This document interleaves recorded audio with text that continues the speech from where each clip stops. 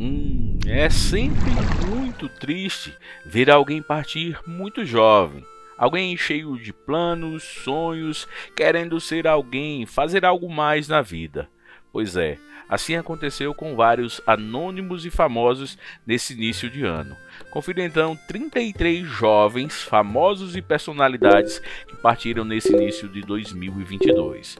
Mas curte, comenta, homenageia anônimos e famosos, bloco social com saudade e respeito começando.